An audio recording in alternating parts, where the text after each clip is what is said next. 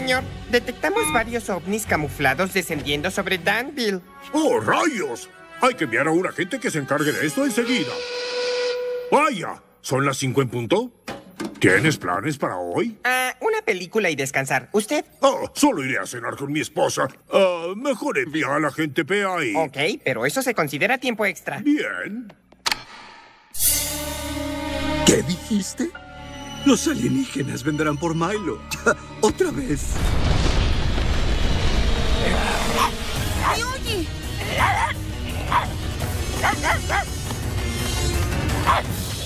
¿Qué sucede, amigo? No, otra vez. Uno creería que levitar es divertido, pero... ¡Milo! Debo admitir que esta tecnología es impresionante para ignorar la gravedad y elevar a alguien. Oh, hable muy pronto. ¡Melissa!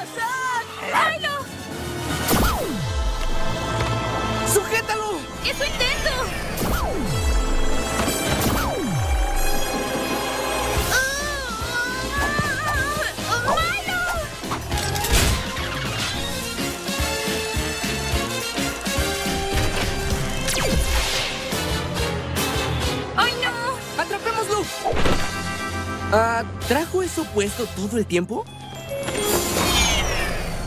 No puede ser. ¿Qué haremos ahora? Es una buena pregunta. ¿Pero para qué quieren a Milo? Tal vez quieran saber por qué se volvió renegado y dejó solo a su mejor amigo. ¡Oh, aguarda! ¡Ese fuiste tú! Y yo sigo molesto contigo. Nada de eso ayuda. Lo siento.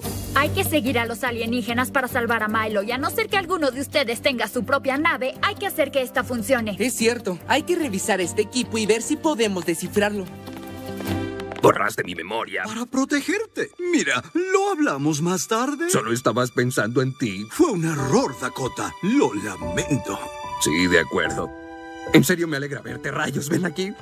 Aún me debes un burrito. Mira, antes de que digas nada, perra el ornitorrinco, solo quiero decir que esto de ser bueno ha sido muy difícil para mí y querría saber que tú me apoyabas. Y cuando vi que te pagaban para cuidarme, creo que... creo que... Depósito para las industrias del profesor Tiempo. ¿Ahorraste este dinero y lo invertiste para que yo pudiera convertirme en el profesor Tiempo? ¿Hiciste eso por mí? Sé que no se trata del